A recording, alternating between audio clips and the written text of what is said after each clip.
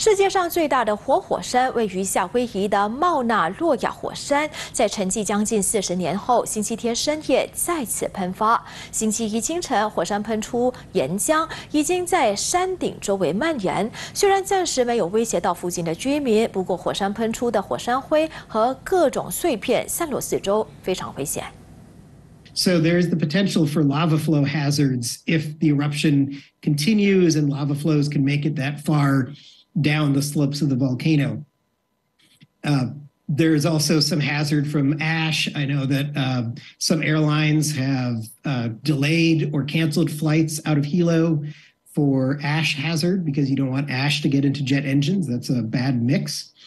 Uh, and then there's the hazard of volcanic gases to make what they call VOG, this volcanic fog that's uh, can be bad for your respiratory tract because uh, it's it's got droplets of acid in it. So there's a number of hazards. Nothing right now that would be you know life threatening.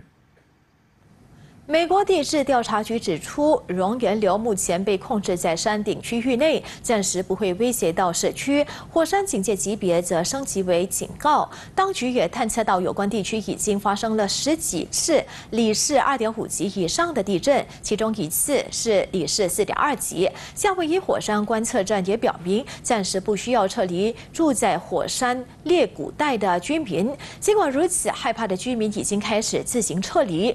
美国地质。调查局无法推测火山这次喷发会持续多久，喷发强度有多大，但是会一直监测火山喷发情况，提前示警。